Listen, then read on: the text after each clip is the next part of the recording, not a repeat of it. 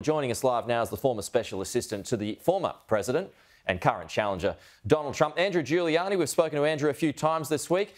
Always good uh, to have a bit of banter, Andrew. It's a day of history on a few different fronts, notably, it comes just a few days after someone tried to kill him.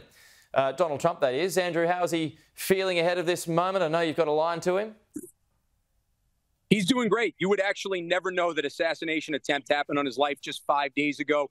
He's really looking forward to this speech tonight. I can tell you, uh, it's going to be a historic moment. Uh, I, I, really can't wait to see what he says, where this goes, the way the crowd receives him. I think it's going to be very, very emotional, to be honest.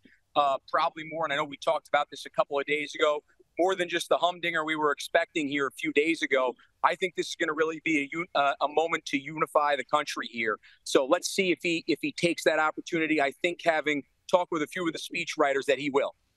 This is how much of a nerd I am, Andrew. I watched his speech from four years ago last night. He spoke for over an hour then. Will the same be expected this time? Yeah, I take the over an hour. I don't think it'll be over an hour and 20 minutes, but call it between an hour to an hour and 15 minutes. You know, the thing with Donald Trump that you never know is he always likes to go off script a little bit. He feels the room and he likes to do that generally for the big speeches like State of the Unions or convention acceptance speeches. He'll stick a little bit more to the script. But you know there'll be a couple of ad libs in there, which is always fun to watch. Yeah, I mean, look, I got to say though, you know, on day one when he emerged for the first time, I, I, he seemed to be quite taken back by the moment, even emotional, um, if we can call it that. Andrew, I mean, it, how affected is he at the moment by what happened from a couple of days ago? Of, of course, a near-death experience would probably change anyone.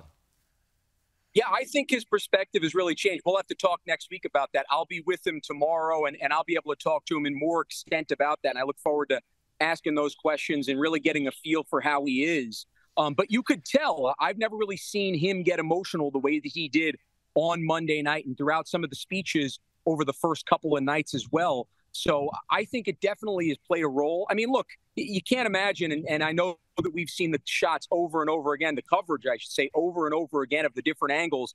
But I mean, you're talking about looking just like this at a screen, and that's the difference between saving his life or uh, sadly us us doing a memorial service right now yeah, for him. So that has true. to give him some perspective. It's tough for you and I to even really understand. Yeah, just looking at the Democrats, just to just to close up now, Andrew. I mean, they're continuing to eat themselves at the moment. Joe Biden, uh, he's making the headlines this morning. Barack Obama now making a move privately on his leadership. Are you surprised that uh, that kind of talk has come back so quickly?